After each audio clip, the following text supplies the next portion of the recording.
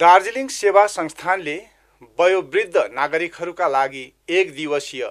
तीर्थयात्राको आयोजना गर्यो यो संस्थानले दार्जिलिङ वरिपरिका एक सय चारजना वयोवृद्ध नागरिकहरूलाई दार्जिलिङको जामुने गोक हुँदै सिक्किम प्रवेश गराएर नाम्ची स्थित गुरु